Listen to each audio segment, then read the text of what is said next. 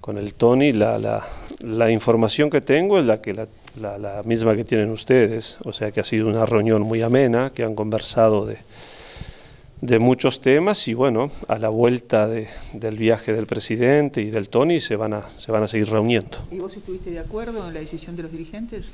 Yo tenía, tengo otra forma de, de ver el tema pero bueno, se la hice saber al club y al Tony.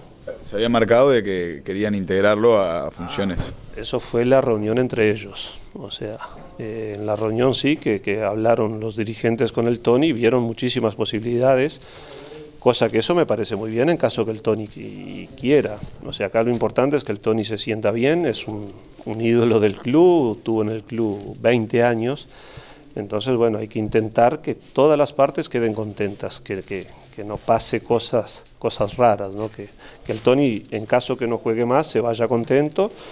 Y bueno, y si sigue trabajando en el club, bienvenido sea. Había que tener más cuidado también, Pablo, por la última vez de cuando se fue Tony de acá, de que sí. también no se le renovó. Eso no fue lo, lo ideal. No quedaron contentos no quedó contento el Tony, no quedaron contentos los dirigentes, eh, o sea, eso que ocurrió esperemos que, que, nunca más ocurra en el club.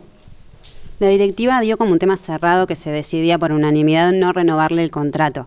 Eh, de tus palabras eh, se entiende como que queda la puerta abierta. ¿Pensás que puede haber una marcha atrás? Queda eh, de que se van a juntar nuevamente, no. porque me lo dijo el jugador y me lo dijo el presidente del club, pero sé lo que va a pasar.